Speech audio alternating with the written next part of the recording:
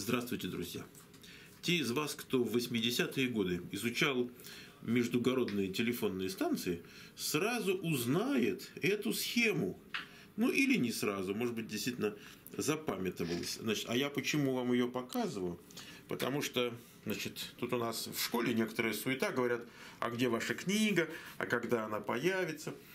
Значит, появится 23-го. Значит, у нас 23 февраля должна быть доставка из э, типографии, а и говорит, а это первая ваша книга? Я говорю, нет, не первая.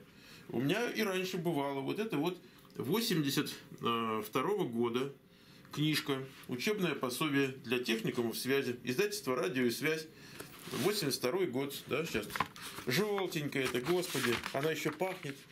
Обратите внимание, допущена Министерство связи СССР в качестве пособия. Это не то, что вот сейчас там, вот, радио и связь, 82 год.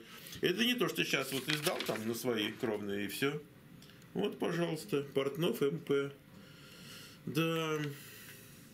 А вот тут, смотрите, как хорошо написано. А, задачей девятой пятилетки, одиннадцатой, одиннадцатой пятилетки является дальнейшее формирование единой автоматизированной сети связи ЕАСС страны на базе новейших систем передачи информации – и это 26-й съезд КПСС, тогда так положено было. Все надо было сослаться на съезд обязательно. Вот такие вот дела.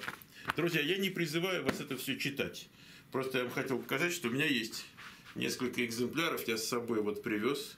Вот такая, ну она маленькая совсем, конечно, по сравнению с нашей это в 700 страниц. Ну вот просто, чтобы вы знали.